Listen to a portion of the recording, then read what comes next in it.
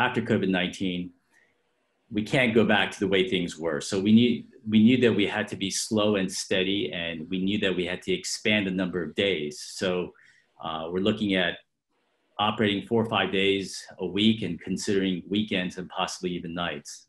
Uh, we've expanded telehealth to night um, to include nighttime. And again, safety over speed and number. And this is something that I always say during surgery, best efficiency is no complications. Now, how do you increase efficiency during this time? Why view all cataract surgery as being a refractive procedure.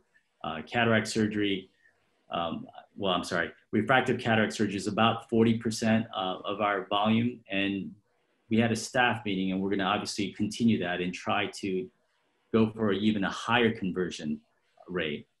We're also gonna minimize visits. I've been doing same day cataract surgery for 12 plus years.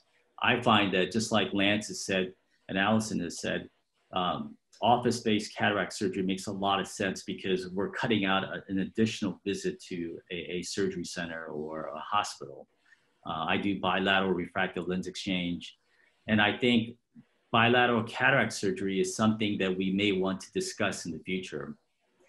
Office-based cataract surgery has been really critical for me because uh, I really enjoy, just like everyone else has said, doing surgery in my clinic. Uh, it's just as safe. Uh, and I think I can practice extreme social distancing in my clinic that I don't think I can practice really in ASC or hospital setting. A lot of patients don't want to go to a hospital setting. The other advantages, in my opinion, that I have with office-based cataract surgery is, you know, you have to consider that hospitals and ASCs are going to prioritize their cases.